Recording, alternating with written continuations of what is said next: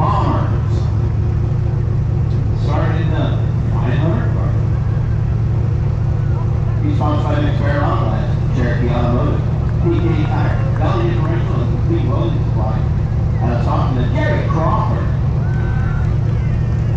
In the 61 car, sponsored by John's Workshop, T.E. Clark Heavy Equipment, Home LLC, and Manteca, Rob Arndt. In the 33 car, sponsored by Tom Mail Construction Power Livestock, Nicholas Mello.